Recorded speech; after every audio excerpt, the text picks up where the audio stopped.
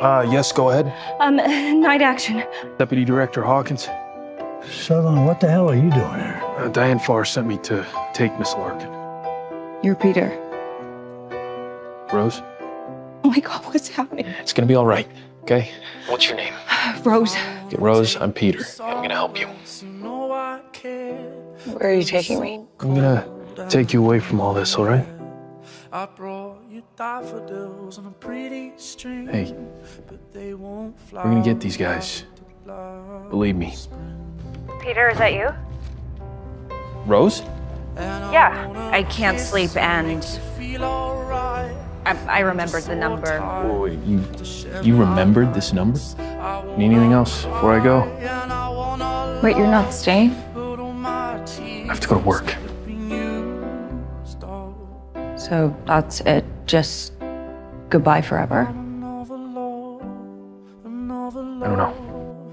love on my tears. What's happening? We have to get out of here right now. How'd you get in here? They cut the power. The lock on your door isn't working. We have to go. Come on. I told you that I was a nobody at the White House. I meant it.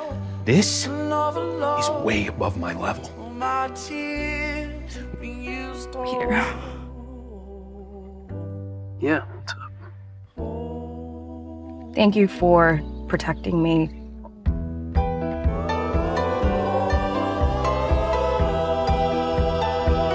And you bet your life on it. My life? Yeah.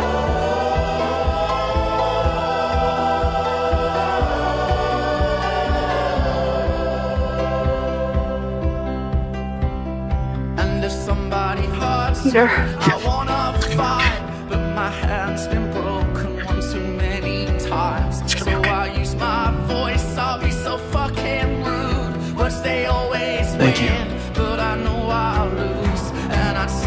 Coming song back. that it be You got a friend for me to double date with you and Peter? Oh, Peter and I aren't. Oh, my bad. I, He's just looking out for me. You'll be okay. Yeah. So are you. He's a good guy. the best. I never left. Oh my god.